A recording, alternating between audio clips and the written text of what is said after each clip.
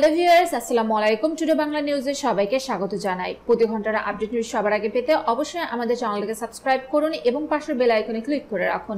এতে করে প্রতি ঘণ্টার আপডেট নিউজ আপনি পেয়ে যাবেন সবার আগে।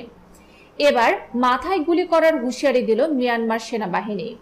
সশস্ত্র বাহিনী দিবস উপলক্ষে বড় ধরনের শক্তি প্রদর্শন করতে যাচ্ছে মিয়ানমারের জান্তা সরকার। এর আগে গণতন্ত্রপন্থী বিক্ষোভকারীদের হুঁশিয়ারি করে দিয়েছে তারা। বিক্ষোভকারীদের মাথা কিংবা পিঠে গুলি লাগতে পারে, সতর্ক করা হয়েছে এভাবে, এমনটা জানিয়েছে বিবিসি। রাজধানী নেপিদোতে সামরিক কর্মসূচিতে যে কোনো বিশৃঙ্খলা প্রতিরোধের প্রতিশ্রুতি ব্যক্ত করেছে সেনা সরকার। শুক্রবার রাষ্ট্রীয় সম্প্রচার মাধ্যম এমআরটিভিতে প্রচারিত এক বিবৃতিতে এ ঘোষণা প্রচার করা হয়। পয়লা ফেব্রুয়ারি জান্তা সরকার ক্ষমতায় নিয়ন্ত্রণে নেওয়ার পর থেকেই মিয়ানমারে বিক্ষোভ অব্যাহত রয়েছে। দেশটির পর্যবেক্ষকরা বলছেন, এ পর্যন্ত নিরাপত্তা বাহিনীর গুলিতে দেশটিতে তিনশো সাতাশ জন নিহত হয়েছেন। এদিকে মিয়ানমারের বিক্ষোভে নিহতের সংখ্যা ছাড়ালো আরও তিনশো। মিয়ানমারের সামরিক অভ্যুত্থানের বিরুদ্ধে বিক্ষোভের সামরিক এবং নিরাপত্তা বাহিনীর হাতে নিহতের সংখ্যা তিনশোর বেশি ছাড়িয়ে গেছে। থাইল্যান্ড ভিত্তিক মিয়ানমারের মানবাধিকার সংস্থা Assistance Association for Political Prisoners সহ বৃহস্পতিবারের এক প্রতিবেদনে এ তথ্য জানিয়েছে।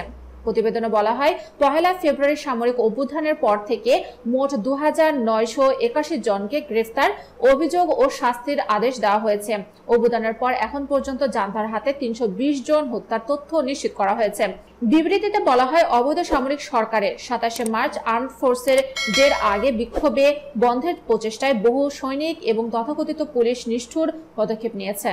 পয়লা ফেব্রুয়ারি তাতমাদাও নামে পরিচিত মিয়ানমারের সামরিক বাহিনীর দেশটিতে সেনা অভ্যুত্থান ঘটায় এবং প্রেসিডেন্ট উইনমিন্ট ও tent counsellor Aung San Suu Kyi সহ রাজনৈতিক নেতাদের গ্রেফতার করে। সাথে সাথে দেশটিতে এক বছরের জন্য জরুরি অবস্থা জারি করা হয়। গত বছরের নভেম্বরে অনুষ্ঠিত নির্বাচনের ফলাফল নিয়ে বিতর্কের জের ধরেই এই অভ্যুত্থান ঘটায় সামরিক বাহিনী। সেনা অভ্যুত্থানের প্রতিবাদে ছয় ফেব্রুয়ারি থেকে মিয়ানমারের বিভিন্ন শহরে বিক্ষোভ শুরু হয়। বিক্ষোভকারীরা অং সান সুচি সহ বন্দী রাজনৈতিক নেতাদের মুক্তির পাশাপাশি সামরিক শাসন প্রত্যাহার দাবি জানিয়ে আসছেন। দর্শক মন্ডলী প্রতি ঘণ্টার আপডেট নিউজ সবার আগে পেতে আমাদের চ্যানেলটিকে সাবস্ক্রাইব করুন এবং পাশের বেল আইকনে ক্লিক করে রাখুন। এতে করে প্রতি ঘণ্টার আপডেট নিউজ আপনি পেয়ে যাবেন সবার আগে। ধন্যবাদ।